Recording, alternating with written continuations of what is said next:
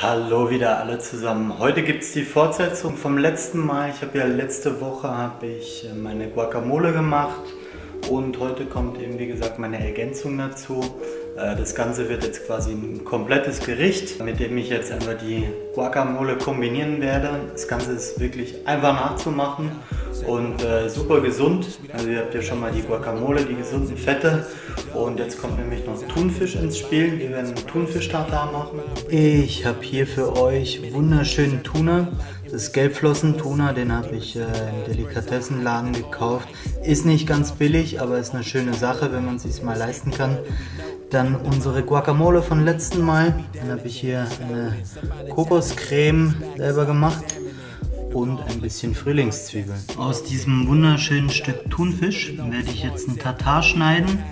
Äh, ist gerade praktisch, dass das so ein Medaillon ist. Ich werde das jetzt hier so mittig halbieren, in Streifen schneiden und dann in Würfel.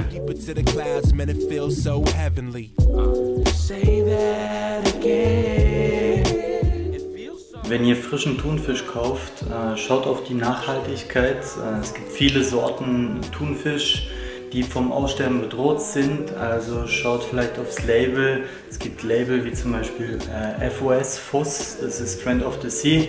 Äh, die schauen, dass die Bestände, die sie fangen, äh, im Rahmen liegen. Also schaut auch einfach auf das Label. Was auch wichtig ist, da wir ein rohes Tartar essen, wirklich eben wie gesagt beste Sushi-Qualität vom Fisch und schaut, dass es so frisch wie möglich ist.